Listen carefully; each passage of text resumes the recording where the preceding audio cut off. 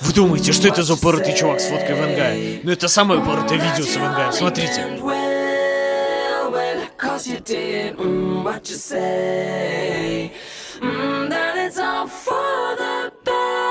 Вот это поворот!